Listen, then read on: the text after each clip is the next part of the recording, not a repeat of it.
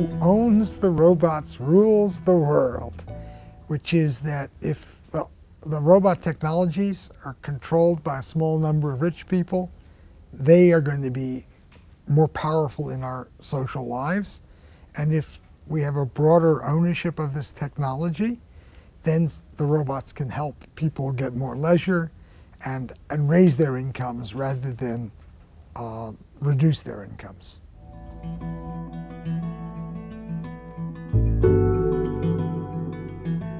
Effect of, of, robots on the types of work that people do by uh, combining robots with artificial intelligence, the, the, this robotic revolution affects literally every job uh, and the incomes people will make from their jobs in the, in, the, in, the, in the economy.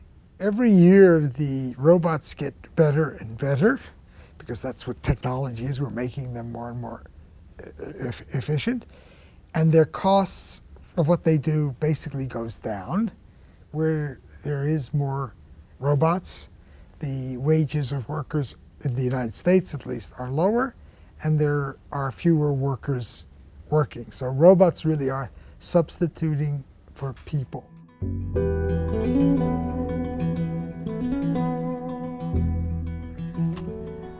I'm probably uh, unrealistically optimistic in the sense of the, the trend of inequality has gotten bigger and bigger in every country. The, in the U.S., in Europe now, in, in, uh, in China, the rich get richer and the normal people, maybe they get a little bit better, maybe they stagnate, but they're falling further behind the, the, the rich. So you don't see any evidence this trend breaking the robots are going to, robotization is going to add to this, this trend. And why would I be optimistic? Because I think we have the capabilities of changing the ownership of, of, of, this knowledge asset and make it more public so that uh, workers will have uh, shares in their companies, profit sharing. And I, the people I talk to this, they don't have very good alternatives to that. You have a universal basic income, that's also possible, but that could be viewed as giving people a certain ownership stake on the whole GDP of the country.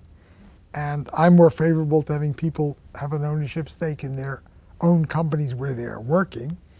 And you probably could combine the two of them.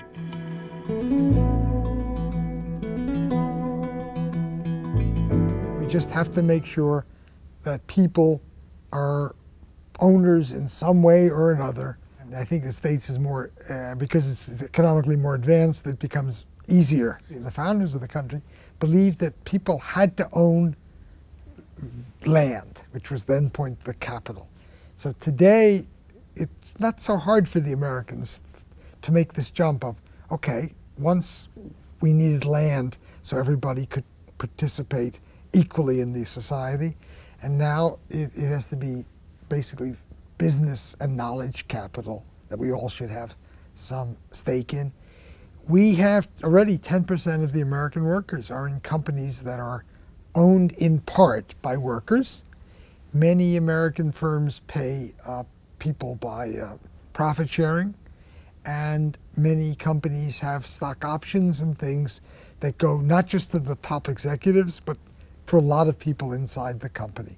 So it's, it's in our culture that we should be owners.